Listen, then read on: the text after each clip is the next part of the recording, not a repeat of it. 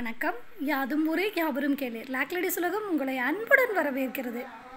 மத்திய கல்வி அமைச்சகம் வெளியிட்டுள்ள செயல்திறன் தர குறியீட்டில் பிசிசி தமிழ்நாடு கேரளம் பஞ்சாப் மாநிலங்கள் அந்தமான் நிக்கோபர் தீவுகள் சண்டிகர் யூனியன் பிரதேசங்கள் மிகச்சிறந்த ஏ ப்ளஸ் ப்ளஸ் வரிசையில் இடம் பிடித்துள்ளன.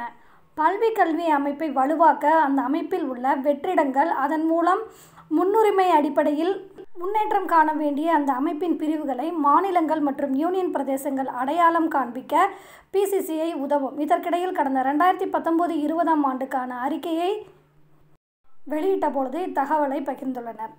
முதல்வர் தலைமையில் செயல்படும் மாநில வளர்ச்சி கொள்கை குழுவுக்கு துணைத் தலைவராக ஜே. ஜெயரஞ்சன் அவர்கள் நியமனம் செய்யப்பட்டுள்ளார். தளர்வுகளுடன் கூடிய பொது முடக்கம் இன்று முதல் அமலுக்கு வருகிறது. பாதிப்பு அதிகமுடைய பதினோரு மாவட்டங்களை தவிர்த்து மாநிலத்தில் உள்ள பிற மாவட்டங்களில் கூடுதலாக தனியார் பாதுகாப்பு சேவை நிறுவன அலுவலங்கள் வீடுகள் மற்றும் அடுக்குமாடி குடியிருப்புகள் பராமரிப்பு உள்ளிட்ட சேவைகளை மேற்கொள்ள இணைய பதிவுடன் அனுமதி வழங்கப்பட்டுள்ளது. இன்று முதல் சென்னையில் புறநகர் மின்சார ரயில் சேவை அதிகரிக்கப்பட்டுள்ளது. இருபத்தி மூணு சதவீதம் பேருக்கு கரோனாவுக்கு எதிரான நோய் தடுப்பாற்றல் உள்ளதாக தமிழகத்தில் நடந்த ஆய்வில் கண்டுபிடிக்கப்பட்டுள்ளது. தமிழகத்தில் கரோனா பாதிப்பு இருபதாயிரத்தி நானூற்றி இருபத்தி ஒன்றாக நேற்று குறைந்தது. பொது முடக்கத்தில் சில தளர்வுகள் அளிக்கப்பட்டாலும் அடுத்து வரும் நாட்களில் அந்த எண்ணிக்கை குறையவே வாய்ப்புள்ளதாக சுகாதாரத்துறை அதிகாரிகள் தெரிவித்தனர் கரோனா தீதுண்மி சுவாச பாதை மற்றும் நுரையீரல் செல்களை சேதப்படுத்துகின்றன. அதன் காரணமாகவே பல லிட்டர் ஆக்சிஜனை செலுத்தி சிகிச்சை அளித்தாலும் அதனை உட்கிரகிக்கும் திறனை அந்த செல்கள் இழக்கின்றன. செல்களின் ஆற்றலை தூண்டி அதனை செயல்பட வைப்பது அதனை மேலும் சேதமடையாமல் பாதுகாப்பதுமே இதற்கு தேவையான சிகிச்சை முறையாகும். அந்த வகையில் ஹோமியோபதி மருத்துவ சிகிச்சை முறையில் அதனை துல்லியமாக செயல்பட வைக்க முடியும் என்று மருத்துவர்கள் நம்பிக்கை தெரிவித்துள்ளனர். நிதி ஆயோக்கின் வேளாண் துறை உறுப்பினர் ரமேசன் இந்தியாவில் கரோனா தொற்று இரண்டாவது அலை வேளாண் துறையில் எந்த வகையிலும் பாதிப்பை ஏற்படுத்தாது என்று தெரிவித்துள்ளார். பருப்பு உற்பத்தியில் இந்தியா தன்னிறைவு அடையவில்லை. இதனால் பருப்பு உற்பத்தி இன்னும் கூடுதலாக கவனம் செலுத்தி சாகுபடி பரப்பளவை அதிகரிக்க வேண்டும் என்றும் அவர் தெரிவித்துள்ளார். தீவிர ஊட்டச்சத்து குறைபாட்டால் ஒன்பது புள்ளி ரெண்டு ஏழு லட்சம் சிறுவர்கள் பாதிப்பு என்று மத்திய அரசு தகவல் வெளியிட்டுள்ளது. மகாராஷ்டிரா குஜராத் சத்தீஸ்கர் தமிழகம் ஆந்திரா தெலுங்கானா கர்நாடகா கேரளா ராஜஸ்தான் உள்ளிட்ட மாநிலங்களில் சிறுவர்கள் பெரும்பாலானோர் பாதிக்கப்பட்டுள்ளதாகவும் கூறி வருகின்றனர். கடந்த இரண்டு மாதங்களில் இல்லாத அளவு குறைந்தது தினசரி கரோனா பாதிப்பு. தொழிலாளர் சட்டங்கள் விரைவில் அமல்படுத்தப்படும் என்று மத்திய அரசு அதிகாரிகள் தகவல் வெளியிட்டுள்ளனர். ஐநாவின் நீடித்த வளர்ச்சிக்கு இலக்குகளை நடைமுறைப்படுத்துவதில் இந்தியா நூற்றி பதினேழாவது இடத்தை பிடித்துள்ளது. வறுமையை ஒழித்தல் பாலின சமத்துவம் ஏற்படுத்தல் உள்ளிட்ட பதினேழு இலக்குகளை ரெண்டாயிரத்தி முப்பதாம் ஆண்டுக்குள் அடைவதற்கான ஒப்பந்தத்தில் கடந்த ரெண்டாயிரத்தி பதினைந்தாம் ஆண்டு நூற்றி தொண்ணூற்றி மூணு நாடுகளும் கையெழுத்திட்டன. தில்லியில் புதிய நாடாளுமன்ற வளாக கட்டடம் இருக்கும் பகுதியில் ஆயிரத்தி எழுநூற்றி ஐம்பத்தி மூன்று புதிய மரக்கன்றுகளும் ரெண்டாயிரம் மரக்கன்றுகளை நடவும் திட்டம் இருப்பதாக அதிகாரிகள் தகவல் வெளியிட்டு வந்தனர்.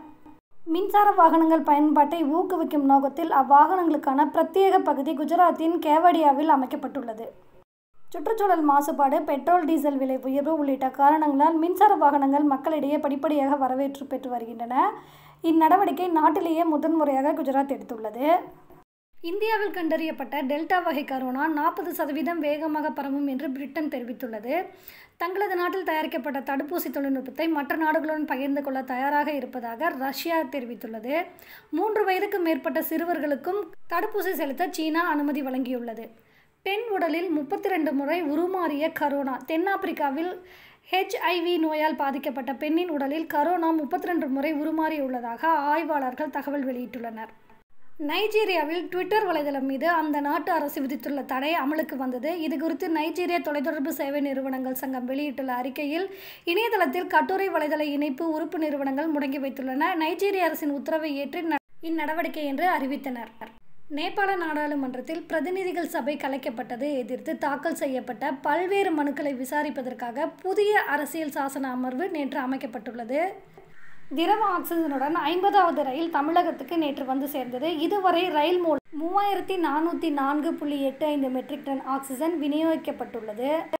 ஐம்பதாவது ரயில் ஒடிசா மாநிலம் ரூர்கோராவிலிருந்து மதுரை கூடல் நகருக்கு நேற்று மாலை ஆறு டேங்கர்களுடன் எண்பத்தி ஒன்பது புள்ளி ஒன்று ஆறு மெட்ரிக் டனுடன் வந்தடைந்தது. இன்று முதல் இருநூற்றி எழுபத்தி ஒன்பது மின்சார ரயில்கள் இயக்கப்படும் என்று தெற்கு ரயில்வே வட்டாரங்கள் தெரிவித்துள்ளன. அத்தியாவசிய பணிகளுக்கு மட்டுமே அனுமதி என்றும் கூறியுள்ளனர்.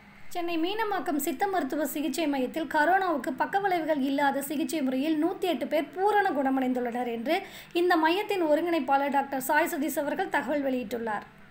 மறைந்த அரசு ஊழியர்களின் வாரிசுகளுக்கு விண்ணப்பித்த ஒரு மாதத்தில் குடும்ப ஓய்வூதியம் அளிக்க வேண்டும் என்று அனைத்து துறை தலைவர்களுக்கும் மத்திய அரசு உத்தரவு பிறப்பித்துள்ளது. லடாக் எல்லையில் நிலவும் உறைய வைக்கும் குளிரில் தொண்ணூறு சதவீத சீன வீரர்கள் சுழற்சி முறையில் மாற்றம் செய்யப்பட்டு வருகின்றன. கடந்த மே மாதம் தொடக்கத்தில் கிழக்கு லடாக்கில் பல்வேறு பகுதிகளில் சீன வீரர்கள் அத்துமீறி நுழைய முயன்றனர். அவர்களை இந்திய வீரர்கள் தடுத்து நிறுத்தினர். கடந்த ஆண்டு ஜூன் பதினைந்தாம் தேதி லடாக்கின் கல்வான் பள்ளத்தாக்கில் இரு நாடுகளின் வீரர்களுக்கிடையே மிகப்பெரிய மோதல் ஏற்பட்டது. இதில் இந்திய தரப்பில் இருபது வீரர்கள் உயிரிழந்தனர். சீன தரப்பில் நான்கு பேர் மட்டுமே உயிரிழந்ததாக அந்நாட்டு அரசு அறிவித்தது. ஆனால் ஐம்பதுக்கும் மேற்பட்ட சீன வீரர்கள் உயிர்ந்திருப்பதை அமெரிக்க இந்திய உளவுத்துறை உறுதி செய்தது.